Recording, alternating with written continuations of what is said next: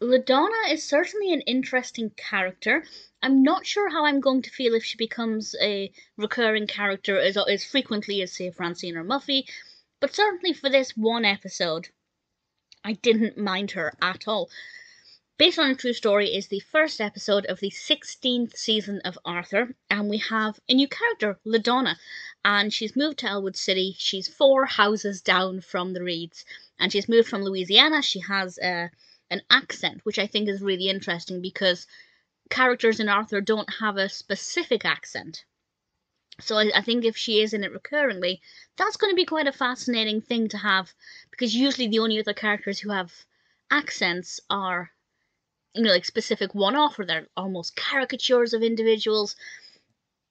So I am kind of keen to see what they do with it. But this one is about getting to know her and what it feels like to be the new girl in a new school, in a new classroom, trying to make friends. And she begins to tell these stories, true stories, that fascinate everybody and they're hooked and they're, you know, they want to be her friend, they're really keen to be around her. And then she runs out of stories and she starts repeating the same stories. So she decides to do something that was a terrible idea. And with a spoiler warning, I'll discuss what that was and it'll also discuss the message of the episode. And I feel like there are two things here. The first is that you just need to be yourself. If you are a new person in a new location, just be yourself. If you try and fake it or, you know, be somebody you're not, that's not exactly what she does. But if you just don't be yourself, then people are going to like you for the wrong reasons, and that's going to be impossible to sustain. The other message is with a spoiler, so I'll discuss that in a moment. But I think it's a great perspective for anybody who's in her shoes, but also for anybody who's got a new person in their class, particularly the target audience. If a new person has joined their school, make them feel welcome, listen to their stories, engage with them, but make them know that there is no pressure to try and be fascinating or to be interesting. Let them know that it's okay to not tell stories and find reasons for you to be their friend. Because that's obviously not necessary. But when you're a new kid in a new class or a new school, there is a pressure to be interesting. And LaDonna certainly felt that.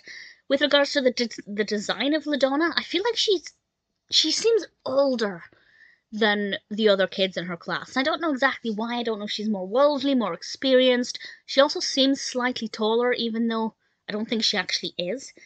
So I feel like she definitely comes across as older. It'll be interesting to see what the dynamic is like going forward if she is recurring. She's also got a younger brother who, who's DW's age, and they don't exactly hit it off straight away either. Um, but again, it's all about giving people a chance. Not a bad episode, not a bad way to start the 16th season, and LaDonna is not a bad character. So, spoiler, from now I'll explain what LaDonna does and the, and the kind of message of the episode that comes with it. Having run out of stories, the drastic action she takes is to make something up. And they realize that she's made this up. And they start to doubt every other story she's told, even though the other stories were true, because she's told this one lie, it discredits everything else that she's said. And then people start to just avoid her and keep their distance. And the message there, of course, is don't lie, because it will never work out for you. Just be yourself. Not a bad episode. Keen to see what they do with this character going forward. I think she'll take a bit of getting used to. It's very unusual to introduce a new regular character 16 seasons in. So we'll see. Or is she going to be like Jenna, who's in it sometimes, or maybe like George, who's in it a little bit more, but not as frequently as Muffy, Francine, the Brain, and maybe Binky? I guess the only way to find out is to carry on watching it, which I will keen to see what happens going forward.